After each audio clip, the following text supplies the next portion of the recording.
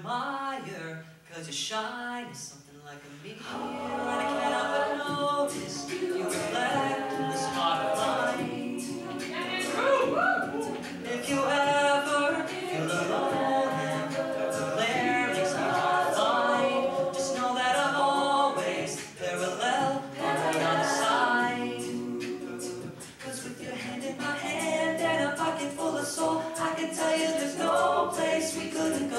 Put your hand on the glass, I'm here trying to pull you.